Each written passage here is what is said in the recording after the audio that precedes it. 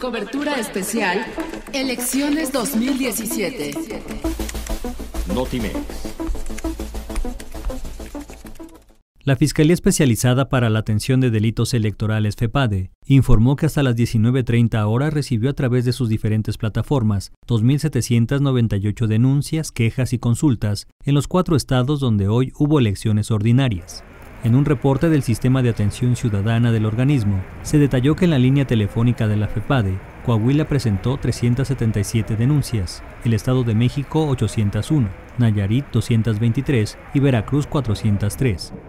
Asimismo, el portal de FEPADENET recibió 127 denuncias y consultas de orientación jurídica para Coahuila, 315 para el Estado de México, 9 para Nayarit y 146 para Veracruz. Mientras en la aplicación móvil de la misma institución, Coahuila registró 71 denuncias, el Estado de México 161, Nayarit 22 y Veracruz sumó 125 en esta plataforma. En el Estado de México también se implementaron recorridos por los 45 distritos electorales para atender las denuncias de forma inmediata.